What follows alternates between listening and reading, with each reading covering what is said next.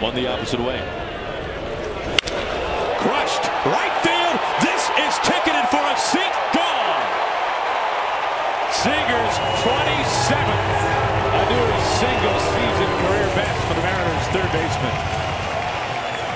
Well, Aaron, timing is everything, and his 11th home run against a left-hander.